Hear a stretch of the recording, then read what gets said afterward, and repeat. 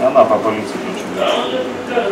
Здравствуйте. В дежурную часть полиции поступило сообщение о краже кошелька, в котором находились водительское удостоверение, банковские карты и 15 тысяч рублей. Заявительница работает продавцом на одном из рынков курорта. Имущество похитили, когда женщина находилась на рабочем месте и была отвлечена покупателем. В ходе оперативно-розыскных мероприятий при помощи камер видеонаблюдения сотрудниками уголовного розыска была задержана ранее судимая 51-летняя уроженка Армавира.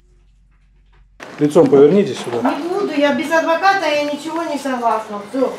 В итоге гастролерка дала признание еще в одной краже, совершенной ранее, но уже на другом рынке Анапы. Ущерб составил более 18 тысяч рублей. Украденные документы женщина выбросила в урну, а деньги потратила. В отношении подозреваемой возбуждено уголовное дело по 158 статье «Кража чужого имущества», совершенное с причинением значительного ущерба гражданину. Максимальное наказание предусматривает лишение свободы сроком до 5 лет. В настоящее время подозреваемая находится в ВВС отдела. Сергей Корабельников, Никита Бойко, Анапа регион.